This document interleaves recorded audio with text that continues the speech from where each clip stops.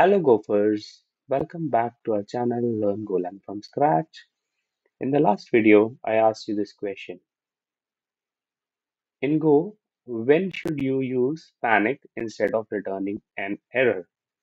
Now let's evaluate every option and let us reveal the correct answer. The first option is goroutine errors.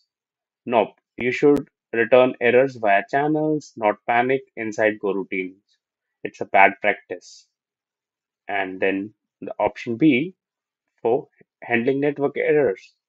It's wrong because network errors are recoverable and should be returned and it should not be panicked.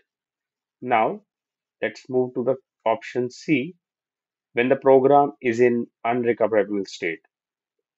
That's perfectly correct. Uh, we should use panic only when something uh, should never happen, like violating internal assumptions or corrupt program state. So that's C option is correct. Now let's evaluate the option D, which is never Go does not support panic handling. That's not true. Go has panic and recover, but they should be used carefully. So remember, use panic only when the program cannot continue safely, not for everyday errors. And if you are looking for more MCQs like this, subscribe to our channel, Learn Golang from scratch. See you in the next video. Till then, stay safe and happy learning.